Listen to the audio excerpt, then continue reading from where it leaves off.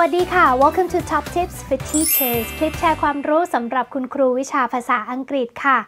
การสอน word stress หรือการเน้นเสียงคำในภาษาอังกฤษนั้นถือว่าสำคัญมากเลยนะคะ ถ้าเกิดว่านักเรียนของเราออกเสียงผิดเนี่ยก็อาจจะทำให้สื่อสารไม่รู้เรื่องได้ ดังนั้นค่ะ วันนี้เรามีวิธีการสอน word stress มาฝากค่ะ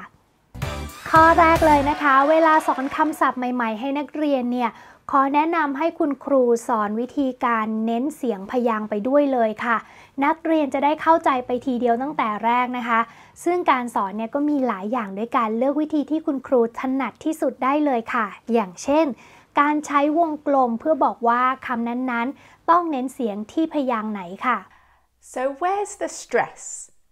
Football, First syllable. football, Football. Football. Football. football. นอกจากนี้คุณครูยังสามารถช่วยให้นักเรียนกลับไปทบทวนเรื่องการเน้นเสียงด้วยตัวเองได้ที่บ้านด้วยนะคะ โดยให้นักเรียนจดวิธีการเน้นเสียงเอาไว้ในสมุดค่ะ แล้วก็สอนให้นักเรียนเข้าใจเครื่องหมายการเน้นเสียงในพจนานุกรมด้วยค่ะ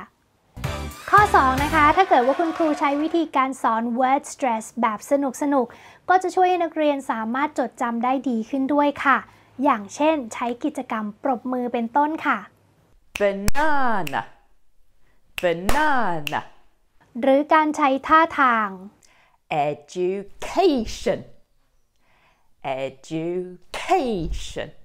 หรือจะลองใช้ยางรัดของเป็นอุปกรณ์ช่วยสอนก็ได้นะคะ Education, education. Football, football. Banana, banana. และทิปที่ 3 ก็คือให้นักเรียนได้ฝึกพูดออกเสียงในชั้นเรียนบ่อยๆ นั่นเองค่ะ อันนี้มีหลายกิจกรรมให้เลือกเลยนะคะ อย่างเช่น การให้เล่นโดมิโนในชั้นค่ะ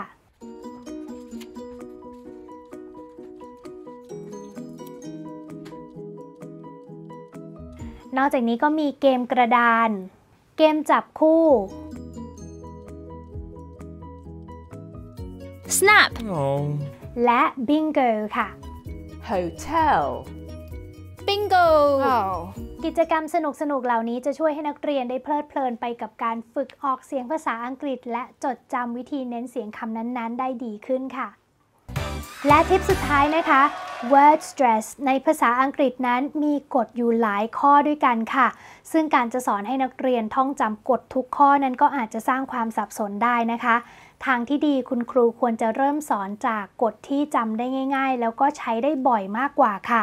อย่างเช่นคำในภาษาอังกฤษที่มี 2 พยางค์เนี่ย ส่วนมากก็จะเน้นเสียงที่พยางค์แรกนะคะ ซึ่งข้อนี้เป็นประโยชน์กับคนไทยเรามากค่ะ เพราะว่ามีหลายครั้งที่เราจะไปเน้นเสียงผิดที่พยางค์ท้ายซะมากนะคะ แต่ก็อย่าลืมนะคะว่ากฎข้อนี้มีข้อยกเว้นเช่นเดียวกันค่ะ ดังนั้นสอนกฎแล้วก็ต้องสอนข้อยกเว้นด้วยค่ะ So, for most two syllable nouns, is the stress on the first or second syllable? First. First. First.